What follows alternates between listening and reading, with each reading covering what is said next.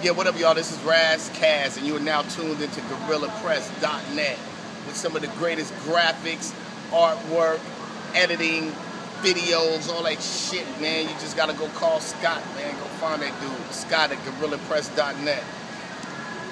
What's up?